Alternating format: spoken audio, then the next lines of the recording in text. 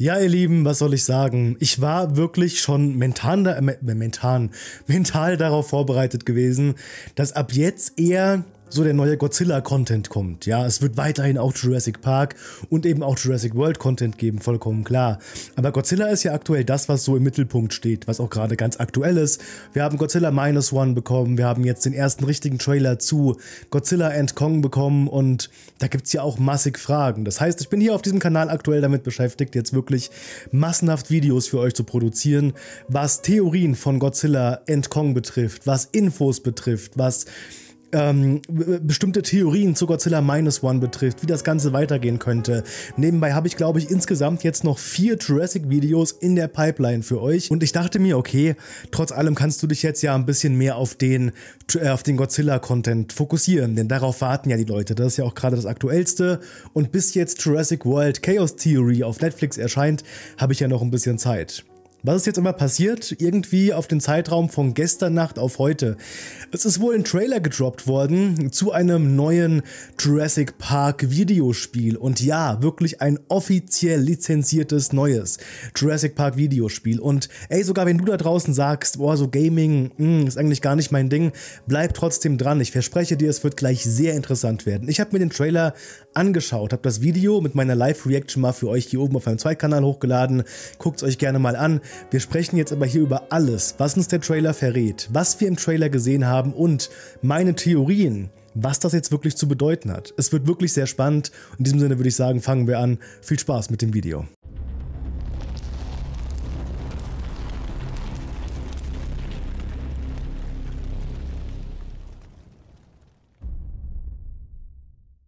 Okay, der Titel des neuen Jurassic Park Videospiels lautet Jurassic Park Survival. Ich habe es, glaube ich, vorhin auch schon mal kurz erwähnt.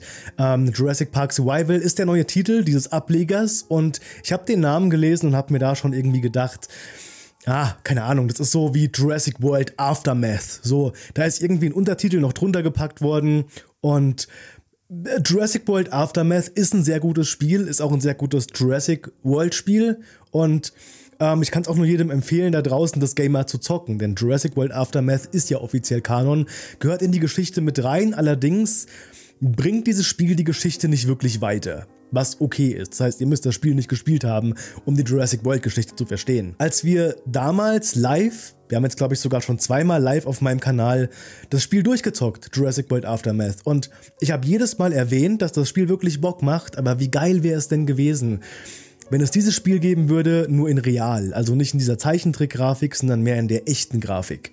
Und jetzt heute über Nacht haben mir ein paar Leute von euch wirklich geschrieben, Tobi, aufwachen, ähm, es geht weiter, Jurassic Park, neues Announcement. Und ich dachte erst schon, oh, okay, krass, ähm, neuer Film announced, irgendwie der neue, der nächste Jahresplan von Jurassic ist jetzt preisgegeben worden und guck dann so drauf und denke mir, nee, ist nur ein Spiel.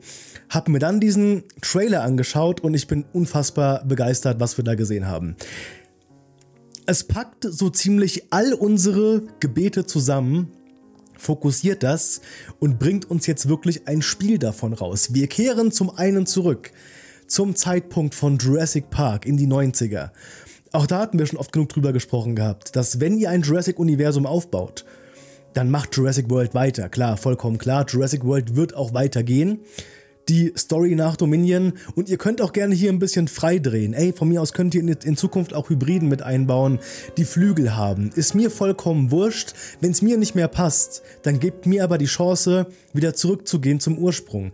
Gebt mir eben auch in eurem Jurassic-Universum Geschichten aus der Welt von Jurassic Park, aus den 90ern. Am besten eine Geschichte aus dem Jurassic Park, vielleicht von einem Mitarbeiter, der ja auch noch im Park selber gewesen ist. Das habe ich gesagt. Da habt ihr mir auch großteils mit zugestimmt. Ja, wäre eine geile Sache, führt Jurassic World weiter fort und eben auch geht nochmal zurück zum Jurassic Park. Dann sind wir uns auch alle, glaube ich, sehr einig gewesen, dass Jurassic Park The Game nicht nur eine coole Idee war für den Story-Strang, wo man quasi reingegangen ist, nämlich zwischen Jurassic Park und Jurassic Park 2, sondern viele haben auch noch gesagt, ja, Wäre schön, wenn das Spiel Kanon wäre, weil die Story an sich auch ziemlich interessant ist. Jurassic Park The Game ist allerdings nicht Kanon. Das könnt ihr komplett rausnehmen. Ist ein sehr geiles Game, kann ich auch jedem empfehlen. Hat mit der Geschichte aber nichts zu tun. Jurassic Park Survival hingegen nimmt sich jetzt auch diesen Aspekt und wir schlüpfen erneut in den Jurassic Park. Und zwar spielt das Spiel direkt nach dem Vorfall von Jurassic Park 1 aus äh, von 1993.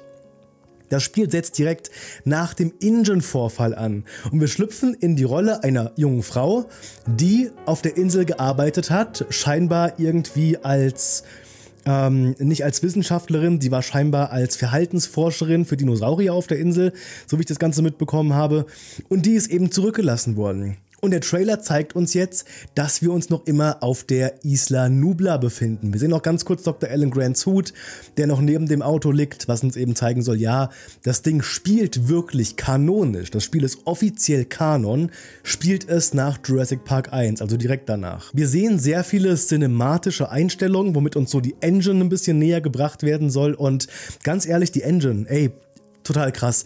Ich habe mir vor kurzem noch so einen Beitrag durchgelesen, dass wir die aktuelle Konsolengeneration oder auch ja, auf dem PC, der ist ja schon immer so Next Gen, aber sehr viele Spiele werden eben noch produziert, damit auch diejenigen, die Games noch zocken können, die vielleicht die älteren Generationen haben, die vielleicht auch noch einen Rechner haben, der noch nicht auf dem neuesten Stand ist. Sobald Spiele rauskommen, die nicht mehr für die Last Gen da sind, werden wir uns umgucken. Da habe ich einen ganz großen Bericht drüber gelesen, was denn auch wirklich eine PS5 zum Beispiel für Leistungen erbringen kann. Das Game jetzt hier zeigt uns genau das mit diesem cinematischen Anfang, mit diesen cinematischen, ja schon fast fotorealistischen Bildern.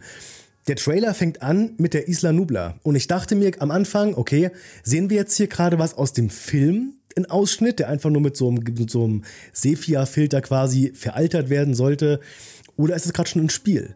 Und dann switchen wir rüber zu dem Moment, wo wir dann das umgekippte Fahrzeug sehen vom Jurassic Park und der Regen runterkommt. Und dann merken wir, okay, jetzt ist auf jeden Fall ein Spiel. Nachher haben wir nochmal eine Einstellung mit unserer neuen Hauptfigur. Und ich dachte mir wieder ganz kurz, ich meine, ich habe sogar gelesen, dass die Schauspielerin, es gibt die wohl wirklich. Also die Figur, die wir jetzt hier spielen, ist wohl eine echte Schauspielerin. Trotz allem ist das ja eine, eine animierte Variante von der Schauspielerin. Und es gab einen Moment, wo ich mir gedacht habe, nee, das ist doch gerade eine echte Cutscene. Nee, ist es nicht. Es ist alles komplett aus dem Rechner. Wir sehen hier quasi komplett eine Vorführung, die uns zeigen will, diese Engine kann so aussehen. Jurassic Park macht jetzt das, was Resident Evil immer gemacht hat und protzt mit Grafik. Ähm, bei Resident Evil wurden wir auch nie enttäuscht im Endeffekt. Die Grafik wurde immer geliefert. Und auch hier sehen wir dann später noch Gameplay. Und am Anfang habe ich mir gedacht, wenn ihr jetzt kein Gameplay zeigt, bin ich davon nicht so sehr gehypt. Weil wie oft kennen wir das, dass irgendwelche cinematischen Trailer uns gezeigt werden und am Ende ist es dann nicht so wirklich das, ähm, was dann da gezeigt wurde. Im Endeffekt sind cinematische Trailer sehr wenig Aussagen für das, was das Gameplay oder eben das Spiel an sich später ähm, ausmachen wird. Allerdings haben wir hier das Gameplay gesehen und ich bin mir nicht sicher, ob ich da gehypt sein soll. Wenn das so aussieht später auf der Konsole, auf dem Rechner, wo auch immer, wird das mitunter das beste Jurassic Park Spiel aller Zeiten werden. Zu 100 Prozent. Warum sage ich, wenn es so umgesetzt wird? Ich habe immer noch diesen einen Tick im Hinterkopf. Da haben wir damals ein Alien-Spiel angekündigt bekommen. Ich kenne den Namen gar nicht mehr davon. Ähm, Alien Alliance oder irgendwie sowas das wurde uns, da wurde uns Gameplay gezeigt, wie das Spiel in echt aussieht, wenn wir das wirklich zocken mit Schatteneffekten, mit Lichteffekten. Und dann kam das Spiel raus und sah komplett kacke aus. Das war der einzige Fall, wo das wirklich so extrem passiert ist. Ich meine, es gibt noch andere Fälle, wo es so ähnlich aufgetaucht ist, zum Beispiel auch in Cyberpunk, das eben einfach nur nicht fertig gewesen ist, das Spiel. Wenn das Spiel Jurassic Park Survival so aussieht, dann ist das wirklich Next Gen auf einem, auf einem Next, auf einem ganz anderen Level.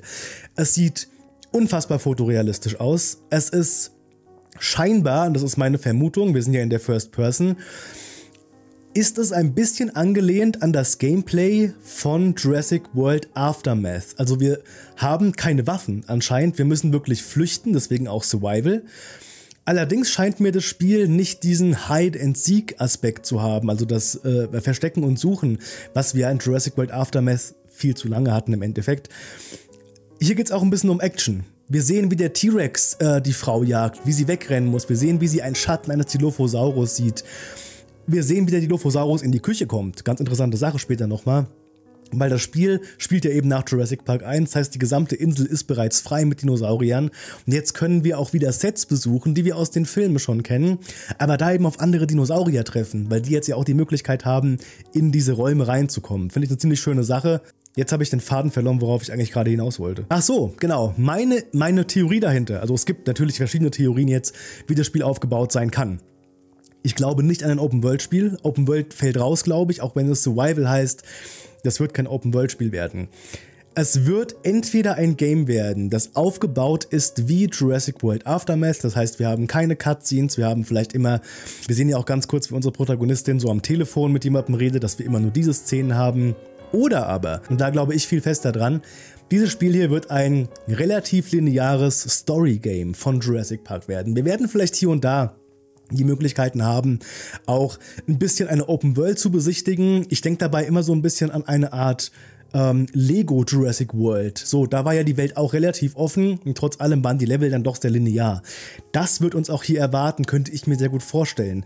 Diese Geschichte wird uns auf jeden Fall erzählt. Es wird ein Story Game werden. Wir werden hier sehr viel Geschichte, wir werden hier auch einige Cutscenes drin sehen, die uns das Jurassic-Universum erweitert. Ich glaube nicht, dass wir dieses Spiel spielen müssen, um die Geschichte später zu verstehen, aber dieses Game wird sich cineastisch total in die Filme eingliedern. Es ist wirklich das erste offizielle, richtige, kanonische Spiel, was eben nicht so Zeichentrick ist wie jetzt da Jurassic World Aftermath, was wie gesagt echt ein gutes Spiel ist. Was mir jetzt hier aber noch aufgefallen ist, im Spiel bekommen wir immer wieder verschiedene Orte gesehen, die wir schon kennen. Der Trailer spielt sehr stark mit Nostalgie. Wir sehen den Dilophosaurus, ähm, wie er dann auch seinen Kragen aufmacht und kurz hinterm Baum herguckt, wie bei Dennis Nedry. Ist reiner Fanservice. Wir sehen die Küche, reiner Fanservice. Wir sehen den T-Rex und auf einmal zieht sie so eine Leuchtfackel rein, äh, raus. rein, Vorsicht, was du sagst. Zieht sie so eine Leuchtfackel raus und ähm, ja, ist halt auch reiner Fanservice, dass der T-Rex eben dann vor der, vor der Leuchtfackel steht und man kennt diesen ganzen Kram im Endeffekt ja. Allerdings wird uns hier, glaube ich, zwei oder dreimal geht die Kamera sehr linear auf den, auf den Cold Room zu, in welchem ein Velociraptor eingesperrt ist. Dieser Cold Room ist nun offen und wir sehen zum Ende dieses Trailers, wie auch der, der Raum noch ein bisschen weiter aufgeht und wir hören auf einmal das Geräusch, ich sage immer das Schnurren, des Velociraptors, der in diesem Raum eingesperrt gewesen ist. Wisst ihr noch, wo wir Videos darüber gemacht haben, über die Theorie, was wurde aus den Velociraptoren, haben die jetzt überlebt oder nicht? Wir konnten uns alles zusammenspinnen. Hier bekommen wir die Antwort. Der Raptor lebt noch. Die Tür ist irgendwie aufgemacht worden, vielleicht vom Raptor selber oder auch von unserer Protagonistin. Und ich könnte wetten, dass dieser Raptor im Endeffekt dann doch das Riesenbiest möglicherweise ist. Und da haben wir auch schon Theorien zusammengesponnen, dass das Riesenbiest nicht der Raptor im Kühlschrank ist, weil das eben so sein kann und das eben so, äh, so sein kann. Im Endeffekt könnte man jetzt allerdings hier die Geschichte wirklich so aufbauen, dass das Riesenbiest doch im Gefrierfach drin war jetzt wieder rausgekommen ist. Und das könnte so der Hauptgegner werden. Quasi dieser Raptor verfolgt uns die ganze Zeit in bestimmten Szenarien über die Insel. Das könnte ich mir sehr gut vorstellen. Ob man jetzt wieder eine Theorie rausholen kann, dass das Riesenbiest ja auch mit Blue verbandelt ist, Glaube ich nicht. Ich glaube, sie werden Jurassic World hier komplett rauslassen. Sie werden dieses Spiel für die Jurassic Park Fans machen. Für uns, die den, das Feeling der Isla Nubla wieder haben wollten. Das bekommen wir jetzt hier mit diesem Game auf jeden Fall wieder. Ich bin unfassbar gehypt drauf, dass wir jetzt wirklich so ein Game bekommen und so aus dem Nichts heraus. Ich hätte, ey, ich konnte mir das nicht vorstellen. Ich hätte wetten können, dass wir frühestens, wenn Jurassic, das Universum wieder weitergeht, dass wir dann irgendwie ein Game bekommen. Aber auch nicht sowas Geiles. Also, Leute, ey, ich weiß noch, wie, wie damals einfach diese, diese, dieses Fanprojekt, dieses eine Jurassic Fanprojekt gestartet wurde und das musste dann wieder eingestampft werden, weil Universal ja gesagt hat, nee, nee, mach das mal nicht. Das ist unsere Marke und wir machen gerade das etwas ähnliches. Das wurde damals ja gesagt, da haben wir auch schon drüber gesprochen. In irgendeinem Video auf meinem Hauptkanal, also auf dem Kanal hier. Und jetzt erfahren wir das Ergebnis. Die haben daran gearbeitet. Das ist das Spiel, was sie jetzt bekommen. Das, wegen diesem Spiel jetzt hier wurde quasi das Fangame damals abgemahnt. Sie dürfen den Namen Jurassic Park nicht benutzen. Es kommt. Und äh, wir wissen noch nicht wann dieses Jahr nicht mehr, logischerweise. Ich schätze mal nächstes Jahr, vielleicht um Weihnachten rum, wäre eine ganz praktische Zeit und ich bin bereit, ich habe tierisch Bock drauf. Der einzige Nachteil hieran ist, dass der Announce von diesem Spiel jetzt so ein bisschen meine Freude auf Deathcrown geschmälert hat, weil Deathcrown wird jetzt nur eine Überbrückung sein, bis das Game hier rauskommt. Und ja, ist eben so. Jetzt seid wie immer ihr gefragt, was denkt ihr dazu? Habt ihr den Trailer schon gesehen? Wenn nicht, schaut ihn euch auf jeden Fall an. Schreibt mir eure Meinung dazu in die Kommentare unten rein und dann würde ich sagen, hören wir uns beim nächsten Video wieder. Bis zum nächsten Mal. Ciao.